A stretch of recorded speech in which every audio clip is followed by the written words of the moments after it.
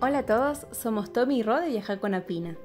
En nuestros primeros viajes solíamos llevar mapas impresos en los que marcábamos los lugares a recorrer con un bolígrafo. Posteriormente comenzamos a utilizar herramientas con GPS para guiarnos, más específicamente Google Maps. El problema era que necesitábamos tener internet para poder utilizarlo, y para ese entonces el roaming internacional era muy caro y todavía no se utilizaban los chips prepago, por lo que no contábamos con acceso a internet. Entonces, ¿cómo hacíamos para guiarnos?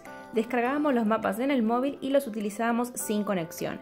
Y esto es algo que hoy en día seguimos haciendo aunque tengamos datos, porque uno nunca sabe cuándo se puede ir la señal del móvil y tener acceso a un mapa es fundamental para cualquier viaje, sobre todo si uno no habla el idioma del lugar.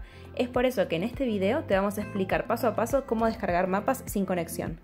Comencemos. Primero vamos a abrir Google Maps, hacemos clic en nuestra foto de perfil y seleccionamos donde dice mapas sin conexión.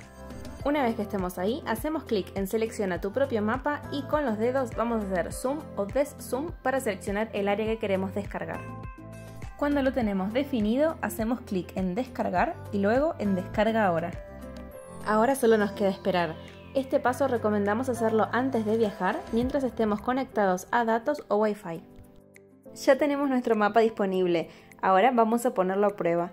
Para eso vamos a poner el modo avión en el teléfono y con eso sin tener datos ni wifi vamos a poder comprobar que el mapa funciona.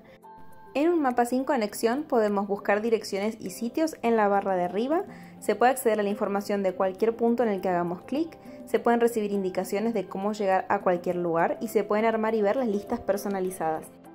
Y este fue el video de hoy. Si te resultó útil, recuerda darle like y suscribirte al canal. Nos vemos en el próximo video.